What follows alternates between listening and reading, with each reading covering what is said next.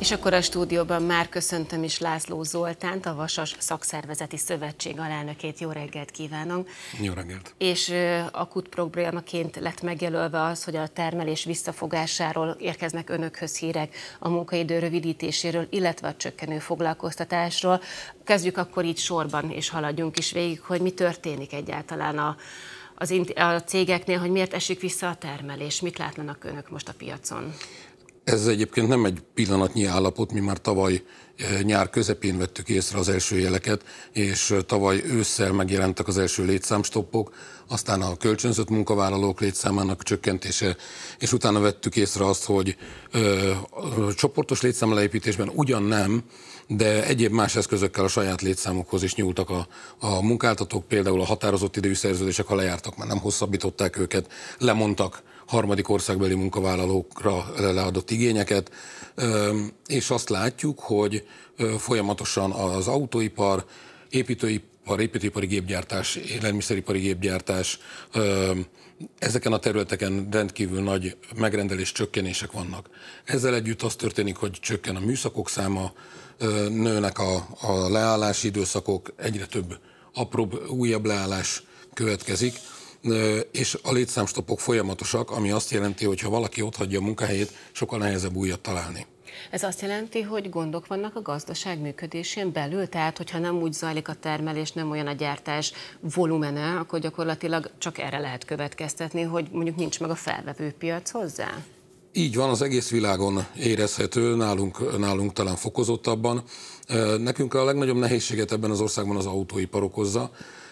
Az autóipar több sebből vérzik, nagyon-nagyon sok mindent épi az autóeladásokat, és emellett például a mezőgazdasági gépgyártásban érzékelhető, hogy, hogy egy elég nagy megtorpanás volt. Alapvetően akik ezeknek a köröknek szállítanak be, tehát aki, aki bármiféle ö, fémipari vagy ahhoz kapcsolódó gyártást folytat, ők a legsérülékenyebbek. Azzal, hogy csökken a munkaidő, feltételezem, hogy arányosan akkor csökken a háztartások bevétele is, de ez milyen mértéket jelent és milyen gondokat a munkavállalóknak? Sajnos az elmúlt időszakban elég gyakran a bértárgyalások során olyan megállapodásokat tudtunk kötni, hogy az alapbéren kívül egyéb bérelemek tartalmaztak nagyobb növekedést, és ezeknek a bérelemeknek jó része műszakpótlékok, bónuszok, hasonlókra kell gondolni, ezek ilyenkor nem járnak. És amit mi mindig is mondtunk, és mindig is erőltettünk, hogy alapbér, alapbér, alapbér, arra kell fektetni a hangsúlyt, az most azért igazolódik. Nagyon sok helyen az alapbérüket kapják a munkavállalók, és van, ahol még ennek is örülhetünk. És ráadásul az történik, hogy az ilyen ö, megrendelés hiányos időszakokban a, a megrendelések azok úgy zuhannak be ilyen dömpingszerűen, amikor pedig ilyen nagy felfutások vannak, rövid időre, de nagyon nagy terhelés, olyankor pedig hirtelen túlórák ö, tömege, ö, hétvégi munkák és egyebek vannak, amit majd aztán később ö, valahol visszafogadni az idő, de a dolgozóknak ilyenkor problémát okoz, hogy a hétvégén hogy oldják meg a családi problémákat, iskola végén vagyunk, tehát hogy nagyon sok minden ilyenkor a magánélettel is tehát leterheltek lesznek, miközben okoz egyfajta bizonytalanságot is az az időszak, amikor pedig nincs egy ekkora mértékű megrendelés, cunami, mert akkor pedig elgondolkoznak, vagy meg is valósítják azt a cégvezetők, hogy elindul egy létszámleépítés? Nem látjuk ennek a jelét, mindenféle egyéb eszközökkel, illetve ezt úgy helyes mondani, hogy a csoportos létszámleépítést eddig kerülik. Viszont megjelentek olyan trendek, amelyek egyértelműen a létszám csökkentésre utalnak. Sokkal szabály megkövetelőbbek lettek a cégek. Ugyanazt a mobiltelefont, amit évek óta bevitt a munkahelyre a kollega, bár egy szabály ezt tiltotta, sose szán kérték számon, most ezért a munkáját veszítheti el. Szigorúbbak lettek a munkaegészségügyi alkalmassági vizsgálatok. Sokkal több emberről derül ki, hogy alkalmatlan arra a munkakörre, amit évek óta betölt. Így szűnnek meg munkakörök, munkahelyek, úgy, hogy nem kell csoportos létszámot leépíteni. Egész extrém példákat elmondanak a kollégáink a munkahelyeken. Volt olyan cég, ahol azt figyelték, hogy a cégkapu és a buszmegálló közötti területen, ami még cégterület, rágyújtanak-e az emberek. Aki ott rágyújtott, mivel a cég területén ez tilos, azonnal elvesztette az állását. Okokat keresnek az elbocsátásokra? Most ebből ezt kell meghallanom? Így van. Ahelyett, hogy mondjuk szabályoznák ezt a dolgot, tehát mennyivel egyszerűbb lenne, hogyha mondjuk naivan állunk hozzá a kérdéshez, azt mondják, hogy ezen a területen nem lehet dohányozni. Ha viszont én ki akarom rúgni a munkavállalót, de arra nincsen mondjuk a munkavégzésében megfelelő okom és indokom, akkor ez mondjuk alapot adhat erre? Így van, főleg ha tudjuk, hogy ott mindig rágyújtanak. A magyar kormánynak van egy zászlaja, ez, a, ez az a zászló, hogy foglalkoztatottság.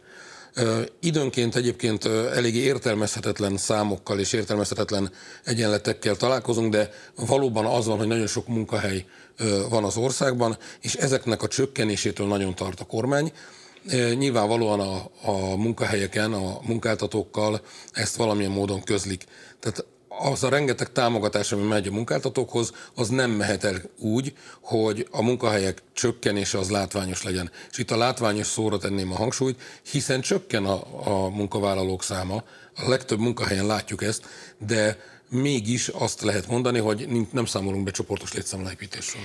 Muszáj ebben a témakörben ugye a vendégmunkások érkezéséről szót ejtenünk.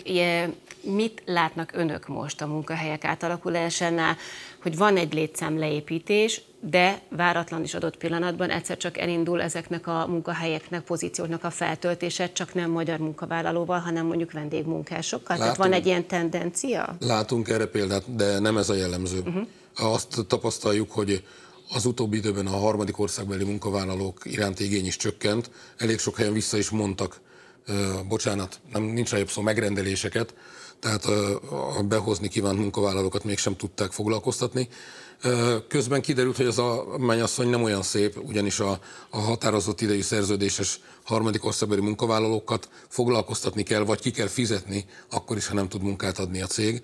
Nem lehet elbocsájtani úgy, mint egy határozott, határozatlan idejű magyarországi munkavállalót. Tehát, hogy ilyen időszakban, amiben most vagyunk, amit a számaink mutatnak, ez bizony kockázatot jelent. Feltételezem, hogy önök, mint érdekképviselet azért erről beszélgetnek, vagy próbálnak beszélgetni a cégekkel, cégvezetőkkel. Hol tart ez a folyamat? Látszik-e bármilyen irány, hova elindult volna? Mert hogy kell, ami védje a munkavállalót, kellene valami biztosíték és biztos pont számukra. Ugyanakkor a másik oldal is azt gondolnám, hogy egy cég számára is az a jó, hogyha ott van egy biztos bázis munkavállalói csoport számukra, akik az ő érdekükben termelnek, gyártanak, szolgáltatnak időt, energiát, tudást. Tehát, hogy egy, mindig azt, én azt vallom, hogy a jó munkaerőt azért illik megtartani és észrevenni, és hogy miért kérdés ez bárkiben. Igen, a jó munkaerőt illene megtartani ebben az országban már régóta mondjuk. Vannak erre törekvések, nem egységes a kép, viszont sok munkáltatóval nem tudunk tárgyalni ezekről a dolgokról. Hát egyrészt nagyon sok külföldi tulajdonú cég van, ilyenkor jönnek a, az utasítások kintről, és ezzel nem igen tud szembe menni a helyi menedzsment. Azra is van példa, hogy úgynevezett minőségi cserére használják fel ezt a, az időszakot a munkáltatók, tehát azokat a munkavállalókat, akiket korábban úgy söpörtek be az utcáról mindenféle technikákkal, és most nem annyira fontos, hogy őket elengedik, és csak a jobbakat tartják meg, vagy hívják be. Ezzel együtt mi azt látjuk, hogy ez hatalmas bizonytalanság, ami, ami van. Most például tettünk ilyen kérdéseket fel a cégeknél, és egy csomó kérdésre nem tudtak válaszolni, nem tudták, hogy a termelésük hogy fog kinézni az év közepén, év végén.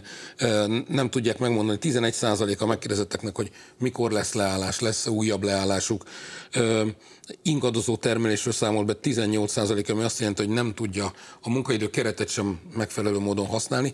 Tehát, hogy annyira nagy bizonytalanság van, hogy ebben a munkáltatók igazán nem látják, hogy mi a mozgásterük. Reméljük, hogy azért ez változni fog. László Zoltán, köszönöm szépen, hogy itt volt ma reggel. Én is köszönöm.